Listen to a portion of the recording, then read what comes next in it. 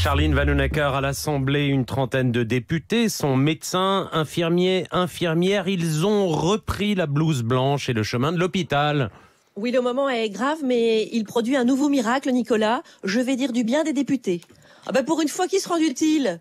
On leur reproche souvent d'être coupés de la réalité. Là, ils vont pouvoir constater le lendemain matin les conséquences de ce qu'ils ont voté la veille après-midi.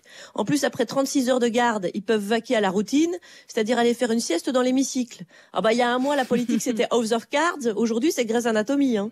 Alors sur 577 députés, une trentaine fait partie du personnel soignant. Ça fait plus de 5% de l'hémicycle. En France, les médecins, c'est à peine 0,33% de la population. Donc apparemment, quand on choisit sa spécialité en fac de médecine, il y a un gynéco, hémato ou campagne électorale. Mmh. Les députés médecins, on les reconnaît tout de suite. C'est les seuls qui t'invitent à entrer dans leur cabinet en disant c'est à qui le tour? Allez, votez pour moi. Euh, venez avec moi, pardon. Quant aux médecins qui sont députés La République en marche, on les repère facilement parce qu'à la place de dire dites 33, ils demandent dites 49.3. Et Agnès Buzyn, me direz-vous? Ah bah écoutez, elle se repose un peu. Hein. D'abord médecin, puis ministre, puis candidate à Paris, puis redevenir médecin. Je ne veux pas savoir dans quel état est son conseiller d'orientation. Le plus dur euh, pour les élus Toubib, ça va être si des patients les reconnaissent et les interpellent.